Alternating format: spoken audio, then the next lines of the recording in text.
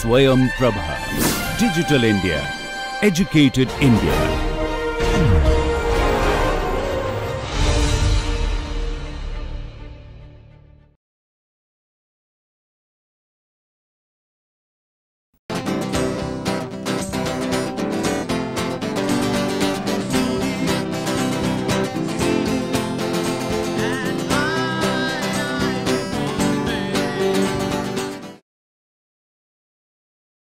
You have just had a good exposure to the various uh, fundamental heat transfer uh, science and an indication how that uh, science of heat transfer is used for uh, axial flow turbine cooling. In today's lecture, we will be looking at the technology of gas turbine cooling. Now, cooling of axial flow turbines, especially in aero engines, have been in vogue for nearly 50 years now. So, the cooling technology is indeed 50 years. It did not start with cooling technology. Axial flow turbines in the early era were without cooling technology. However, for nearly 50 years now, various kinds of cooling technology have been used and we will look at this entire generations of cooling technologies in today's lecture. In fact, all kinds of those cooling technologies are still in use today, because you need uh, some of those cooling technologies uh, even today in uh, simple gas turbine engines, whereas a more modern or more ambitious uh, uh, high performance gas turbine engine may require a more advanced cooling system. So, if you are creating a simple uh, gas turbine engine, uh, old fashioned cooling technology would still be useful uh, and hence uh, those technologies are still uh, in use in some form or other in many gas turbine engines, especially in aero engines uh, even today. So, we will look at all those technologies that have developed over last 50 years. Now, as I mentioned the cooling technology is based primarily on the signs of heat transfer. The idea of uh, cooling actually came from the gas turbine uh, thermodynamic cycle analysis, which very clearly uh, showed that if you can increase the turbine entry temperature, you would get a substantial benefit in terms of the work done by the cycle, which of course, in, in terms of gas turbine engine means more work done by the turbine, more work available either for creation of thrust for aero engines or for running a propeller which creates thrust or for land based application it simply means that you can get more power output out of the single gas turbine engine. So, those fundamental uh, science of thermodynamics uh, finally uh, bore down on the fact that you need to have cooling, because the material science uh, was unable to go beyond a certain level to provide material or uh, alloys, metal alloys that could withstand temperature beyond a certain limit, which is roughly of the order of 1000 degree uh, K. Now, beyond that it became very apparent that ordinary uh, material technology is not going to really uh, be really greatly helpful and in which case additional techniques are required if you want the turbine entry temperature to go even higher. And that is when the cooling technology came in. And of course, the entire field of heat transfer uh, had to be utilized. So, in today's class, uh, we will look at the technology.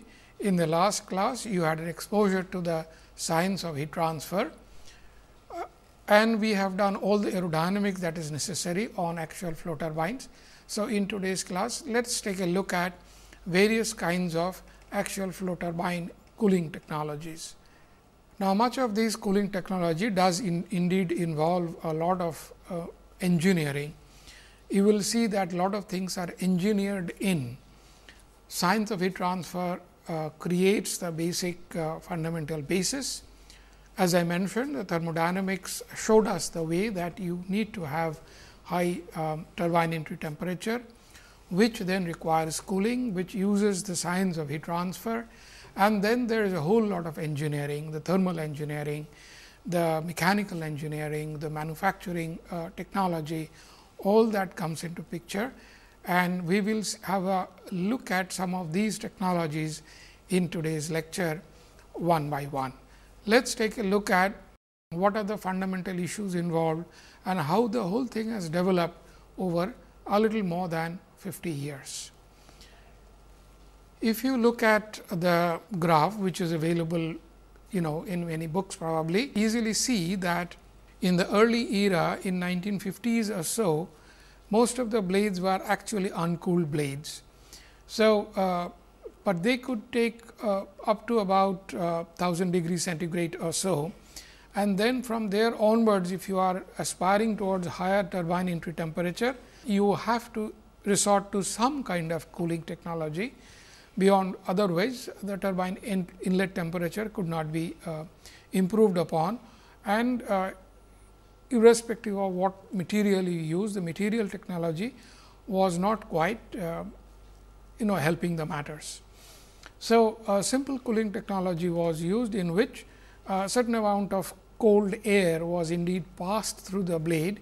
This provided a little bit of cooling of the order of 25 30 degrees to begin with and that was quite often sufficient to raise the temperature by 50 degrees or thereabouts and slowly the temperature started rising as the cooling technology uh, improved upon the it's it's basically an engineering uh, method uh, coupled with the heat transfer signs of heat transfer and as a result of which uh, the temperature could go up to near about 1400 degree or so.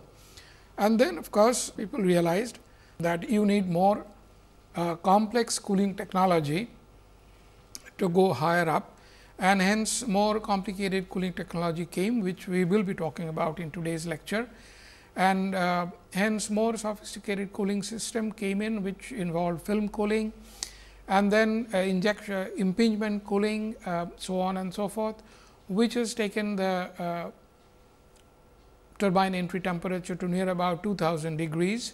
So, uh, very modern gas turbines do have turbine entry temperature very close to 1900 or 2000 uh, K. However, the material as I mentioned the material technology has not really uh, helped matters a great deal over here and uh, the projected trend that was shown earlier and by now we should have reached values of the order of 2200 or 2300 degree K that has indeed actually not happened and uh, one of the reasons is some of the cooling technologies that were projected and we will be talking about it in for example, transpiration cooling. Those kind of cooling technologies have not matured. One of the reasons again is the material technology. The new material, uh, the porous material which was to facilitate uh, transpiration cooling has not really happened. And as a result of which uh, the cooling technology uh, did not project uh, beyond what is shown here. And this projected uh, development not really quite matured. There is a lot of research still going on. And we are not quite as yet crossing the 2200 K uh, mark in actual commercial applications. So, that is where we are. We are near about 2000 or so and that is good enough for us actually to use in most of the modern gas turbine engines. And we shall see that since the pressure ratio has gone up, the efficiency of the turbine has been actually upgraded hugely through upgradation of compression ratio and this upgradation of turbine entry temperature coupled with the high compression ratio has given gas turbine engines huge efficiency boost and in terms of fuel saving there is a huge fuel saving in the modern engines. So, turbine entry temperature boost actually is known from fundamental thermodynamics to give better and more efficient engines and provide more power. Now, if we simply summarize the whole thing, in the 50s the blades were uncooled, the early era of gas turbine engines. And as a result the temperatures were somewhere around 1000 to 1100 K. And then of course, uh, the cooling technologies came which were internal one or two pass cooling. We will look at this 1 or 2 pass cooling uh, very soon. Uh, today and the, and the temperature could go up to about 1200 to 1400 K that is about 100 150 degree more where possible with cooling. Later on the cooling technology uh, developed into internal convection cooling uh, which allowed a uh, lot more uh, coolant to be used and lot more elaborate cooling system and temperature could be pushed to 1300 to 1500 K. And then came of course, the film cooling towards the end of 70s, which existed along with the internal uh, convection cooling. So, film cooling plus internal convection cooling pushed the turbine inlet temperature to higher than 1600 K. And then of course, the impingement cooling matured, the idea which has been around for a long time and has pushed the temperatures now to close to 2000 K. Thereabouts uh, the whole thing has kind of uh, uh, stagnated a little because the transpiration cooling has not quite uh, matured. It has been as an idea it has been around for nearly 50 years. Uh, it involved uh, microchannel cooling methodology, the science of which is well known, but the technology is not quite available as of today and the porous material that can withstand the stresses in a turbine blade has also not quite uh, matured uh, as of today to the best of our knowledge. So, the turbine technology has matured hugely over a period of 50 years and has resulted in engines that are more powerful and of course, which are uh, indeed smaller in size. Now, when we talk about turbine cooling, the first thing that comes to mind is what are you cooling? You see the turbine is, is um, processing gas which is hot and of course, high pressure, but the blade feels a temperature. The feeling of the blade here is the important issue. The blade feels a temperature which is not same as the turbine entry temperature.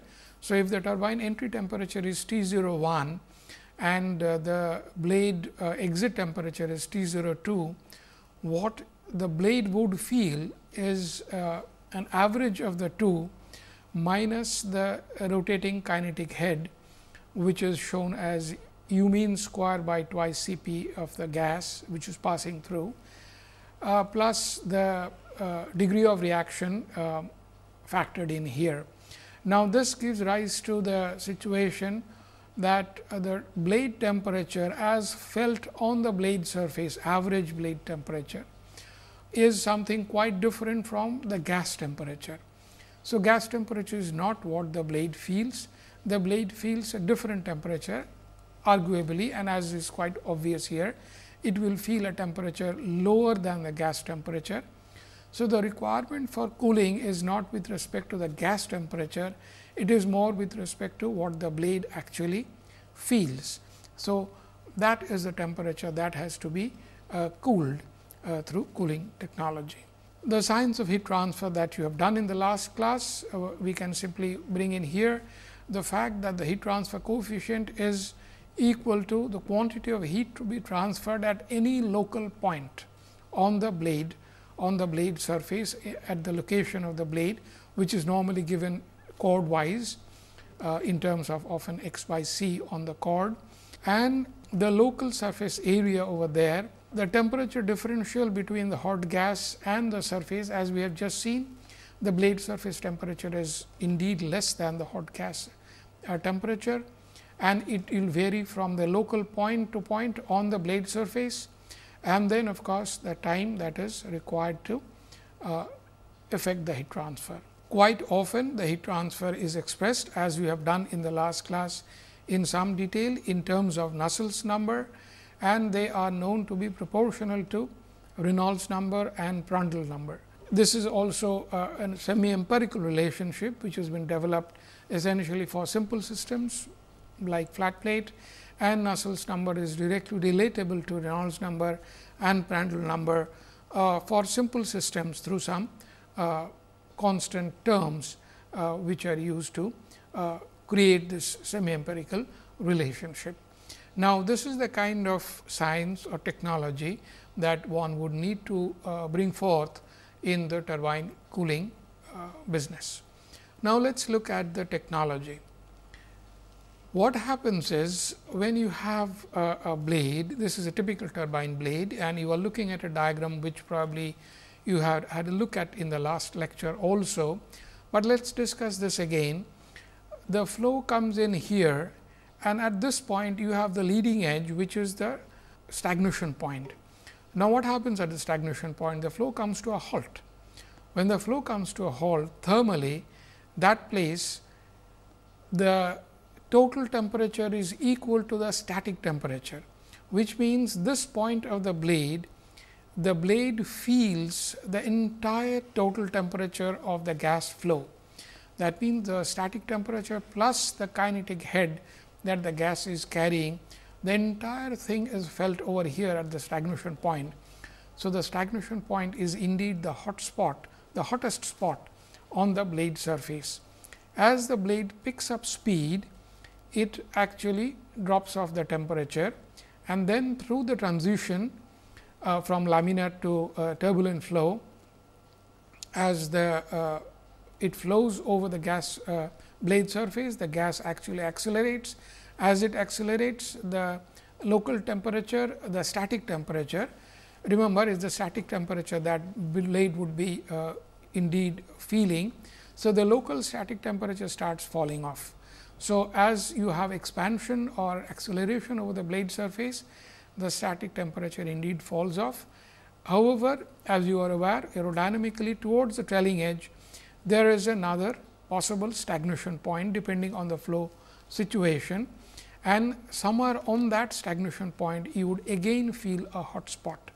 So, the flow again would feel the full uh, temperature field over there that is static plus kinetic at that point.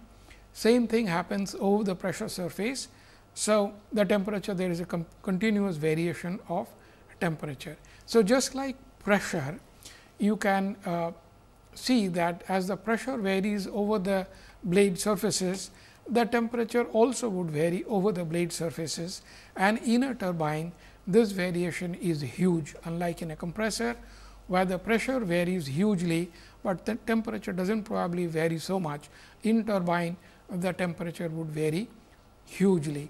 Now, as you have done in the last class, as the flow transits from laminar to uh, turbulent flow through the transition, the heat transfer from the hot gas to the uh, body of the blade is uh, facilitated, which means there is more heat transfer across the body, body of the blade. As a result, the blade would actually be getting more heated towards the rear part of the blade, where the static temperature may be falling off. Here the blade is probably somewhat shielded by the laminar layers and as a result of which the blade feels lower temperature even though the temperature outside is actually much hotter. So, near the leading edge temperature outside is much hotter, uh, but the blade feels less, but later on even if the temperature is falling off the blade actually is made to feel uh, much higher temperature on the blade surface, because the boundary layer outside is turbulent boundary layer. So, with this uh, knowledge if we can move towards the technology. Now, what happens is as we were discussing we have a hot spot on the leading edge, you have a hot spot at the trailing edge, a simple aerofoil is being shown here and you have a huge temperature gradient on the chordwise direction on the blade surface on both the surfaces. In a real turbine, the two surfaces are unequal. What is simply done is you create blade passages, internal passages through which cold air is passed. Let us say from one end of the blade to another, which is from hub to tip. Now, the first row of blades is of course, the stator, which is fixed at both ends. So, you can indeed pass air from hub to tip or tip to hub cold air and then that cold air would convect away carry away uh, heat. That heat has to uh, first conduct itself through the blade solid body uh, from the surface into this cold air and then the cold air would carry away the heat on a continuous basis. So, there is a continuous conduction across the solid body of the blade surface and then continuous convection by the cooling air which is passing through the passages on a continuous basis. So, there is a continuous requirement of cooling air when the gas turbine is operational. So, this is a simple method by which the cooling technology was inducted into the gas turbine cooling. If we look at a little more elaborate system, this is a CFD plus ANSYS simulation and it gives an idea about the kind of temperature profile you have in a typical gas turbine blade and what you would require to do cooling. You have a hot spot here, you have a hot spot around here, uh, the trailing edge is very thin and is very difficult to provide cooling over there uh, in terms of internal passages. So, these are the internal passages as you can see here the shapes have evolved to not only allow more passages in a distributed manner. So, you have more distributed passages also you have uh, more uh, control over the amount of coolant passing through these passages. So, you have more control over what is happening. So, this is one passage which is let us say cooling more near the leading edge area, which as we discussed is the hot, hot area and then there are distributed coolant passages. Uh, so, that uh, the cooling is distributed over the blade uh, surfaces from both the surfaces. So, this is a real blade that has been fabricated and one can see that these are the various kind of passages that have been created by, through uh, modern fabrication technology in a uh, high temperature material. Remember turbine uses high temperature material. So, making such passages is uh, requires very modern uh, manufacturing technology. The upper plate that you see actually is a forged forged blade where these passages were created and the blade was made by forging. And the passages which were before forging looked something like this. And once the blade is forged into the shape the passages take these shapes. However, this blade is fabricated. That means these passages are machined in high temperature material which requires very high uh, modern fabrication technology. Now, what we see is that the blade temperature may vary along the blade surface from leading edge to trailing edge by almost 200 to 300 degree K. Now, that is a very large variation to cater to, which means that temperature over here uh, or over here may be 200 to 300 degrees more than the temperature over here and the temperature is varying all along the blade surface. Now, this requires a cooling technology which would cater to the amount of cooling required here, the amount of cooling required here, here and here.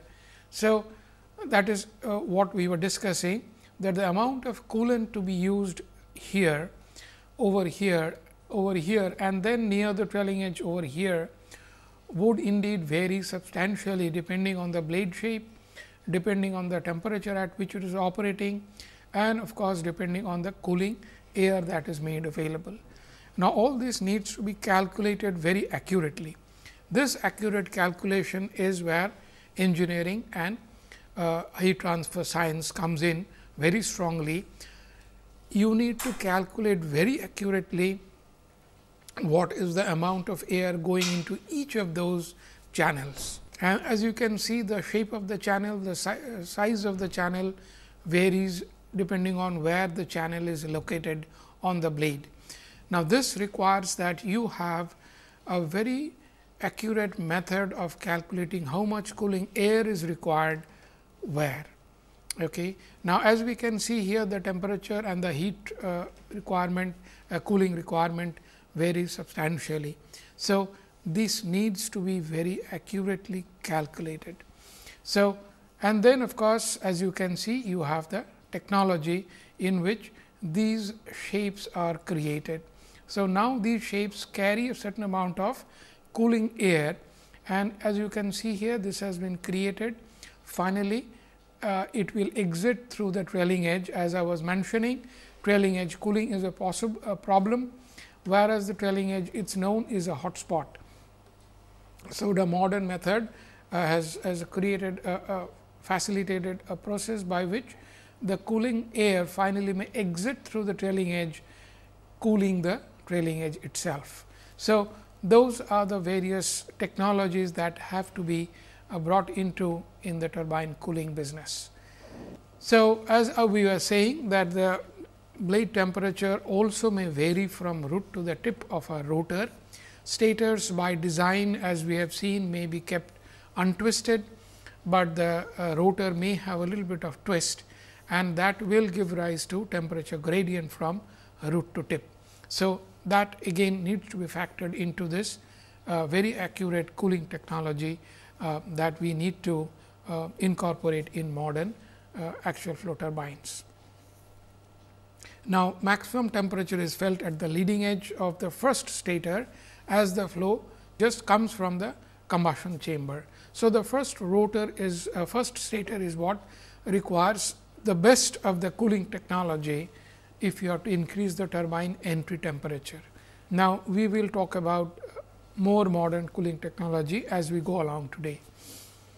The HP turbine blades both the stator and the rotor face maximum temperature across the rotor and the stator. So, almost all modern aero engine HP turbine blade stator and rotor are cooled. In the early era in 60s only the HP stator was cooled, but later on both rotor and stator are cooled and in today's modern aero engine uh, HP turbine first stage as well as second stage are most likely to be both rotor and stator are likely to be cooled. Now, there is another issue here. The blades are thermally loaded in cycles of operation. Now, this essentially means that you have a situation when the gas turbine starts operating, the turbine gets heated up, it goes to full temperature and then it operates at full temperature during let us say when the aircraft is flying from takeoff to climb and then it goes to cruise. Now, when it goes to cruise as you know the turbine is actually brought down to lower uh, temperature level, lower speed level, lower rotating RPM and hence it is operating at a lower temperature. Then after some time the turbine uh, the, the, engine is uh, brought down to lower uh, you know operating speeds slowly the aircraft comes down it touches down and it, it comes to a halt the engine is closed down. So, the turbine is heated up then it is cooled down operates in slightly less heat condition through the cruise and then it is shut off. So, the turbine is continuously going through this cycle of temperatures. For long period of time when the engine is not operational, it is a cold turbine it is just static. When the engine is operational, it goes through heat cycles or very high cycles. If it is a military engine, it is going through very sharp transients, very high temperature sometimes, not so high temperature some other times. So, it is going through cycles of temperatures and then again when the engine is grounded, the aircraft is grounded, it is cold. So, the material of the turbine is continuously being treated to high temperature and then for long period of time to uh, cold state of uh, static uh, you operation. So, this gives rise to the fact that the turbine is treated to uh, cycles of temperature. So, many of the turbine failures occur in this fatigue uh, failure, which is due to this cyclic loading of the blades. Now, remember turbine is also rotors especially getting highly loaded due to the aerodynamic loading. The aerodynamic load is huge okay, when the gas is flowing past the turbine blades. So, this aerodynamic load is now compounded with the thermal loading, which as we have just seen changes from leading edge to trailing edge, from root to tip. There is a continuous variation of temperature on the blade surface over the entire blade of the turbine. Now, this gives rise to temperature gradient, the loading pattern changes and when coupled with aerodynamic loading, it gives rise to very complicated loading pattern and very complicated stress pattern, which as we see now actually goes through cycles of operation depending on whether the turbine is operating or it is uh, grounded and static. The result is the turbine failure of often occurs in creep mainly due to the this thermal cycles. So, creep is a fatigue failure due to cyclic operation of the gas turbine engines. So, the failure of the gas turbine often occurs in creep, which is the thermal fatigue kind of uh, compounded stress that occurs and mainly due to the thermal fatigue. The compressor blades for example, do not fail in creep, they fail mainly, mainly in uh, loads during operation. Uh, those blades of course, are much thinner. The turbine blades are much thicker as you have seen, but uh, the thermal load indeed creates a lot of problem. So, even though turbine blades are thicker, they are made of high temperature material, even then the life of a turbine blade is indeed often much less than that of a typical compressor blade. So, this is a huge problem uh, in terms of uh, life of turbine blades and of course, the cooling technology helps the matter. There are many blades where if you do not apply cooling actually the blade would um, get charred in a matter of few minutes. Whereas, if you apply cooling the blade would last for thousands of hours of operation. So, the difference between cooling and not cooling a modern gas turbine makes a difference in life of turbine blade by thousands of hours. If a gas turbine entry temperature is of the order of 1600 or 1700 uh, degree K and if that blade is not cooled, rest assured that blade will get charred in a matter of few seconds. Okay. So, that is the difference between uncooled blade and a cooled blade uh, in modern gas turbine applications. So, uh, that is where the cooling comes in. Let us take a look at the situation if you have a typical turbine blade and if you have this kind of uh, let us say very simple cooling passages so many of them you know 1 to 16 of them they have to run through the entire uh, length of the blade of a turbine uh, blade from root to the tip. So, typically the air would be brought in from compressor, compressed air would be brought in through the root system. Uh, you have the fir tree root uh, fixing system here, it comes in here and then it, it gets into these uh, passages. Okay. You can have so many passages or you can have 4 or 5 passages as we have seen in the earlier slides and they all then go through these uh, entire length cooling the blade uh, at different places in a differential manner. On the right hand side you just see a, a, a research output of uh, internal temperatures uh, as captured in a French laboratory uh, and you can see the kind of temperature profile that you get. Some of the internal uh, temperatures are very high. Here the internal temperature is somewhat less, because as we have seen the flow around here is laminar in nature and as a result the blades do not feel so much. Somewhere over here the blades become uh, the outer surface uh, the flow becomes turbulent. Once it becomes turbulent the gas hot gas temperature flows inside very quickly and then the blades start getting hugely heated up. So, the cooling requirement indeed here is more even though the temperature near the leading edge is actually more. So, this aerodynamics actually facilitates the heating of the blades around this area and this is where you indeed require more cooling and that is why most of the cooling technology in the early era in 60s and 70s and indeed in 80s, the cooling was mostly being done in this area. Okay. Um, but of course, we know and we will see today that more and more modern cooling is available near the leading edge as well as near the trailing edge. As the temperature has gone up, you need to indeed cool the entire blade. Let us take a look at the cooling technologies, the fundamentals of the cooling technologies that we are talking about. We mentioned that the cooling is done by internal convection cooling, which essentially means that you have so many passages and through them the cooling air is passed. This is let us say uh, the blade surface or the solid body of the blade. Inside of the solid body you have so many cooling passages through which cooling air has to be passed on a continuous basis and outside you have the hot gas. A variant of this is that the cooling air is blown into the inside surface of the outer shell of the uh, blade. So, the blade is made of a shell which is a solid body of course.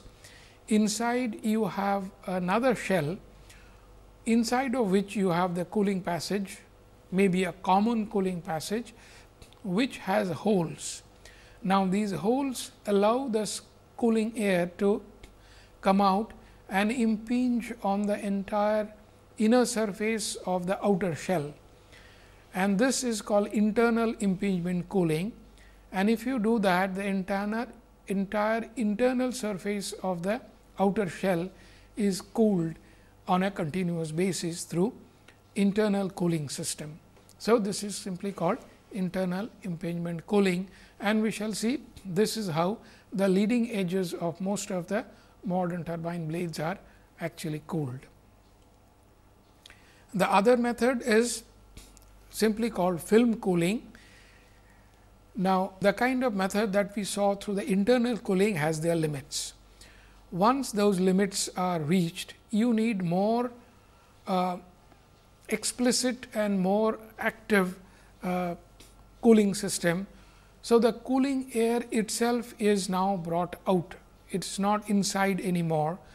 You need to bring it out and then this cooling air is brought out through holes and these holes ooze out the air and then create a film on the blade surface.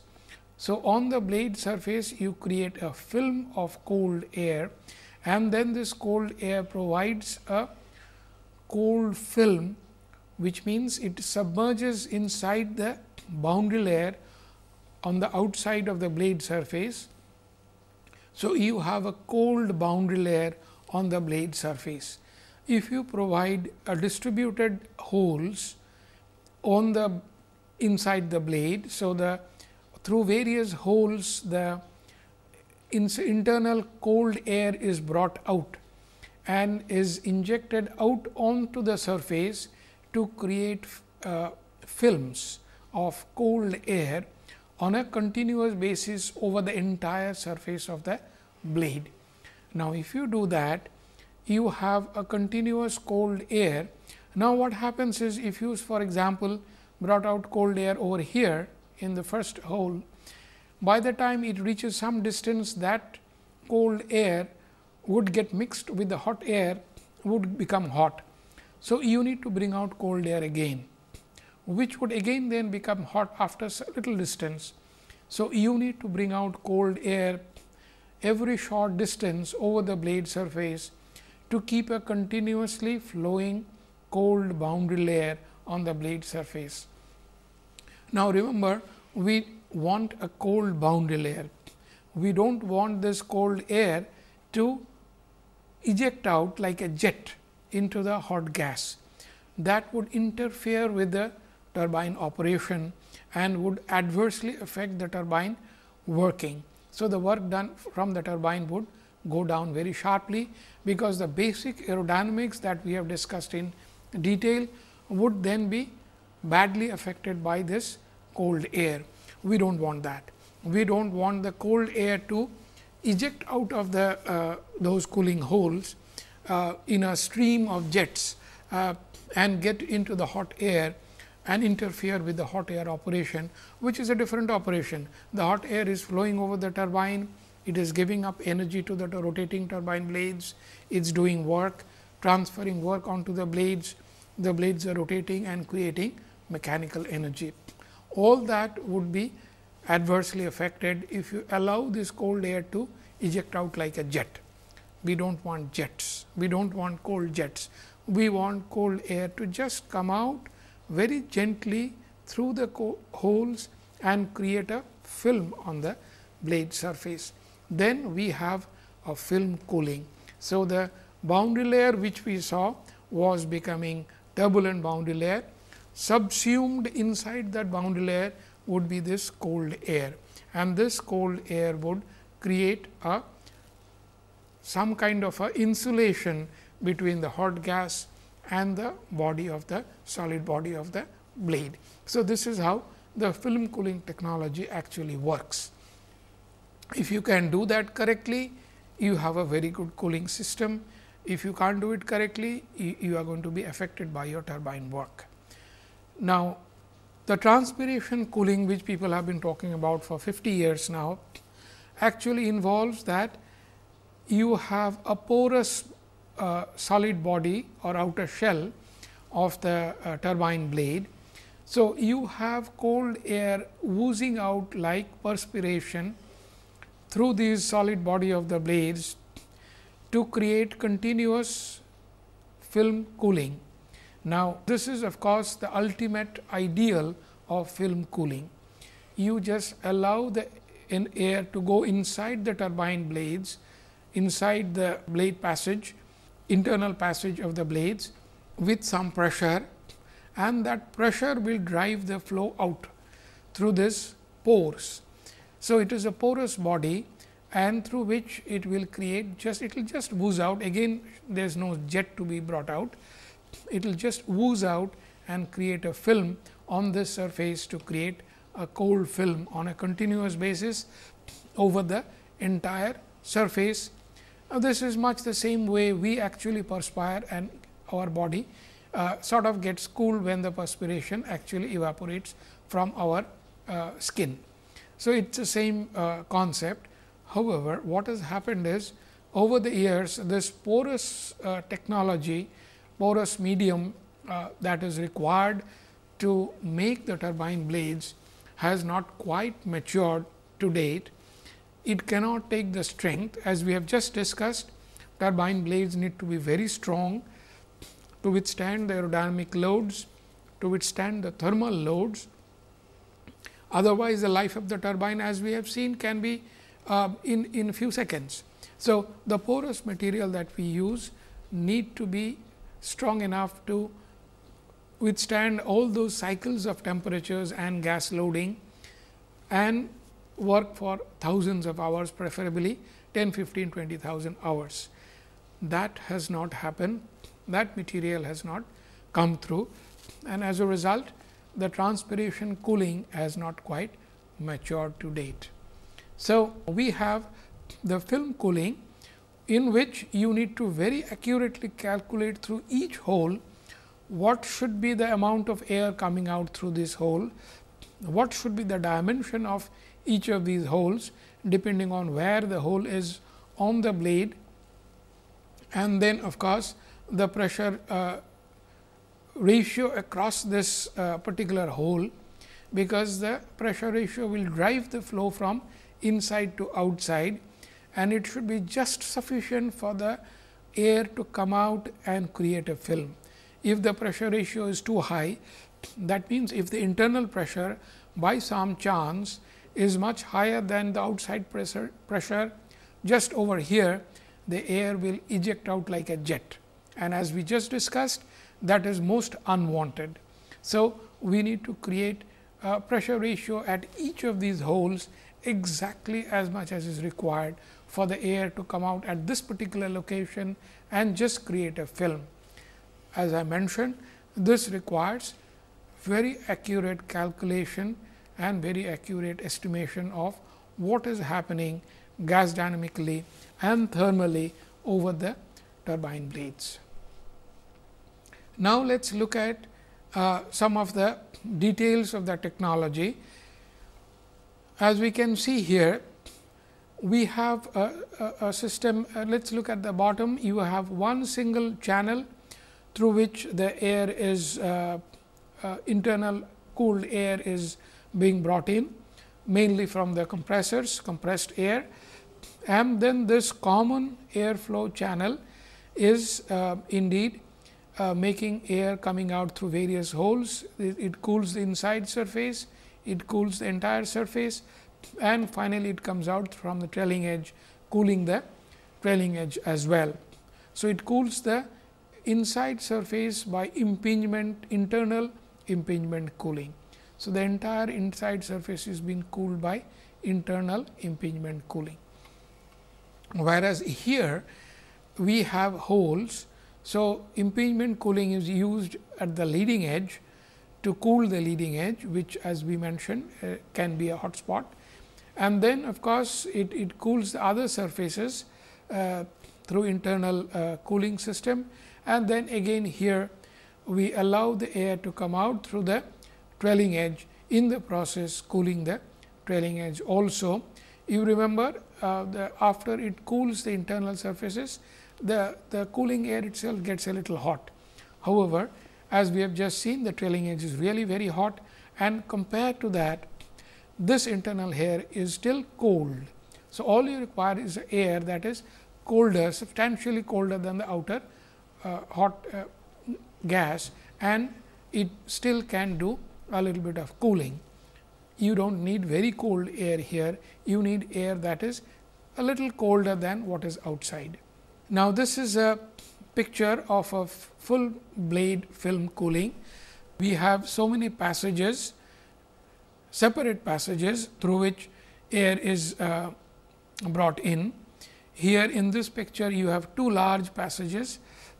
In the picture over here, you have number of passages, each of which caters to one hole or two holes and through which air is brought out and each of these holes then create a little bit of uh, film over here. It is a continuous process as we just saw uh, the early air gets heated up. So, we have to bring in more air. So, on a continuous basis cold air is brought out to create film uh, on the blade surface on both the surfaces really and finally, of course, certain amount of air may be brought out near the trailing edge to cool the trailing edge area. So, you may bring out the trailing edge air through the trailing edge or through some holes near the trailing edge, which creates film over the trailing edge to cool the trailing edge area. On the, on the blade over here, which of course shows a three dimensional picture, you have two large internal passages, one passage over here, another passage over here, which of course exits the flow through the trailing edge. Many of the modern turbine trailing edges are indeed not rounded, but truncated like this or sometimes straight away blunt to allow this cold air to come out. So, this is something which requires very high manufacturing technology typical for gas turbine uh, manufacturing. And this is shown over here. You can see the discrete holes that are made over here on the blade surface, which allows this internal air to come out from inside onto the blade surface and create the films on both the surfaces thereby cooling this area which we have mentioned um, many times that it is area that gets terribly heated up. So, you have a very elaborate cooling system including film cooling that comes out over here and creates film cold film over the surface. Then you have another row of blades uh, holes coming out through the blades which create another row of another round of film cooling. Then you have a another row of holes again through which cold air comes out and a final row of uh, holes near the trailing edge. So, they have calculated very accurately how many rows of blades are required and where on the blade surface in the Colbuy's position to create a appropriate film cooling on this particular blade. So, this is how you create uh, the cold film uh, over the entire blade surface in a very accurate manner to effect uh, effective cooling over the entire blade. This is a picture of a typical picture of a turbine blade, a modern turbine blade. This is the stator, this is the rotor and as you can see both the stator and the rotor have elaborate holes over the surfaces, which woos out the internal cold air on the surface and create the cold film on the necessary on the surface to effect the cooling. As you can see, the stator has much more elaborate cooling uh, technology. Uh, the modern blades also have, the rotors also have uh, elaborate cooling technology on the rotor blades, rotating blades. So, this is the elaborate cooling technology that you need to do. Manufacturing these blades is extremely costly affair and each single turbine blade is a hugely costly affair. It is entirely possible that one turbine blade, one single turbine blade here could be costlier than making a whole set of compressor blades. So, that is how costly the turbine blades are, because they have embedded cooling technology inside those blades. Transpiration cooling as we have seen requires uh, this is an attempt at a transpiration cooling as we discussed. Uh, you have the porous outer shell, you require that porous outer shell and then you have elaborate uh, internal cooling passages which has uh, cold and compressed air and those would be oozing out through these pores to create uh, film cooling. So, you need a porous outer shell or a sheet uh, to effect uh, transpiration cooling and this air of course, radially flows from hub to tip or tip to hub uh, across the entire length of the blade uh, to effect cooling over the entire length of the blade. Now, this is what I mentioned that to the best of our knowledge such porous uh, technology, material technology has not yet matured and to the best of our knowledge that has not yet been applied commercially, even though lots of research is still going on in this area. A summary of the kind of technology that has been used over the years, as you can see here in the early era uh, when it was only convection cooling, the advancement of compression ratio uh, actually uh, required that you can do with less cooling. So, as the compression ratio went up to 40, first 20 and then 40, you can see that you can do with uh, less of temperature, because the relative cooling flow available from high pressure compressor allows you to put in more air flow and as you can put in more air flow at high pressure, uh, you know you, you can effectively do a lot of cooling. However, as the advanced cooling has been extended uh, uh, with film cooling, film and convection combined cooling, uh, you can cool any blade from a pressure ratio of 5 to 40. 40 is a going uh, you know high value of compression ratio. So, up to a pressure ratio of 40 you can keep on using the combined cooling system and it can take you to temperature up to 2200 transpiration cooling can give you even uh, higher temperatures at a lower coolant film flow. So, the more and more uh, advanced cooling technology you, you, can deploy, you can use less and less coolant flow, because higher and higher compression ratio is now available. And then at each of those cooling passages you can pump in air at a higher pressure. And one you you have that availability of high pressure air, you can afford to do with less and less mass of air, cold air to effect effective cooling. So, over the years as the pressure ratio has gone up, the cooling has indeed been facilitated by high compression ratio. And this is one of the advantages of uh, the fact that compression ratio has gone up, the turbine technology has also uh, effectively used higher uh, turbine entry temperature. So, this is what has happened over the years the two of them have gone up together. Let us uh, look at what is happening when the surface temperature as felt. Um, the film cooling only gives so much of relief. When you have convection cooling only, it gives so much relief, but once you have a combined film and convection cooling, the surface temperature comes down substantially and this is uh, on the blade surface. So, it, it tells us that on the blade surface the temperature uh, on the blade surface can be substantially lower if you have combined cooling system.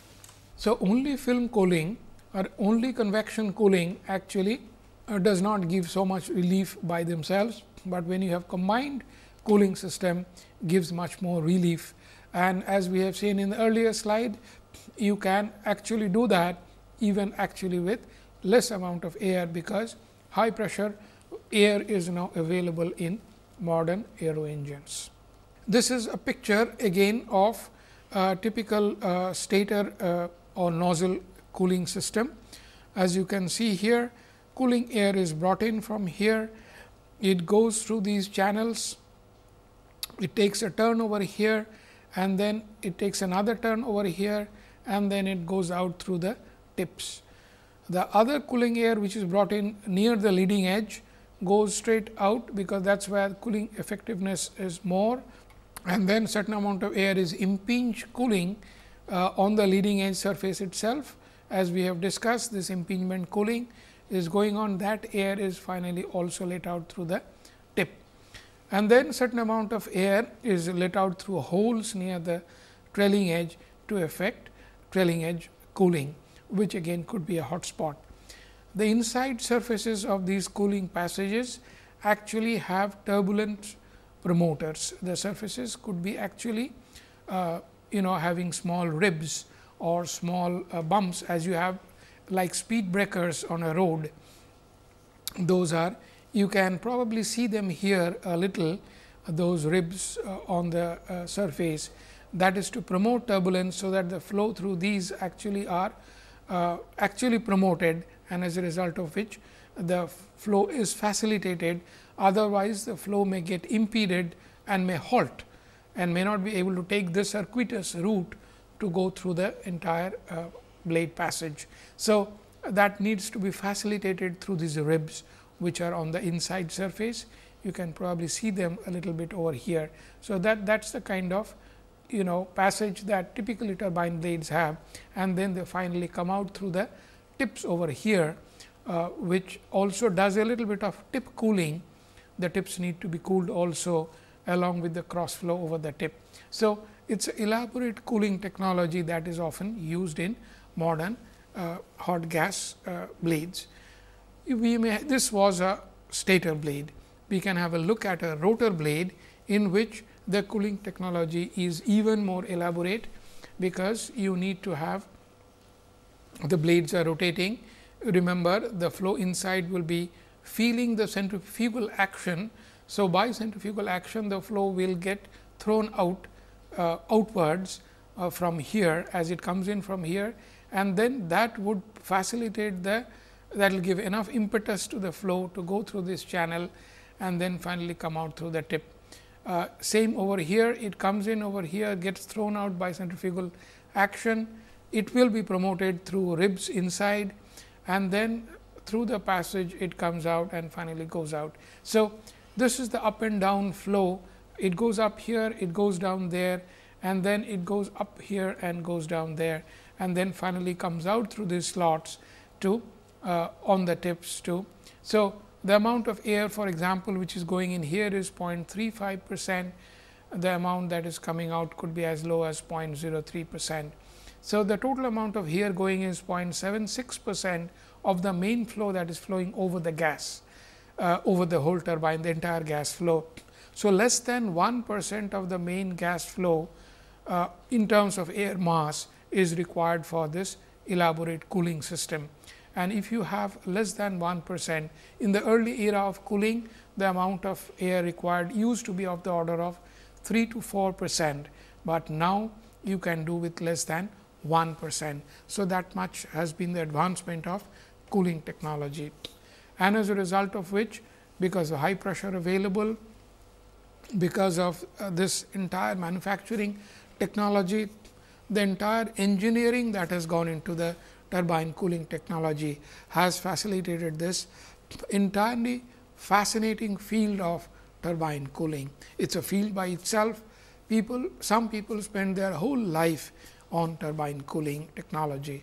It is a fascinating field, there is no question about it and it involves heat transfer, science of heat transfer, it involves aerodynamics, lots of fluid mechanics, extremely high technology in manufacturing and fabrication and then all of it put together, best of all of them put together gives you a cool turbine blade and that is what you require uh, to do a modern axial flow gas turbine blade. With this, we come to the end of our uh, blade cooling technology discussion. You now know that a uh, lot of technology is required to create a modern gas turbine blade. We will try to keep this in mind when we go into the next class in which we will be discussing overall axial turbine blade design. We will bring in the blade design methodology into the next class, in which we will keep in mind that certain cooling technologies are available today and with this we will see what kind of blades are being created for the modern gas turbines. They could be uh, subsonic, they could be transonic or we will see that we could even have supersonic blades for modern gas turbines. So, in the next class we will be looking at the design methodology of modern axial flow turbines.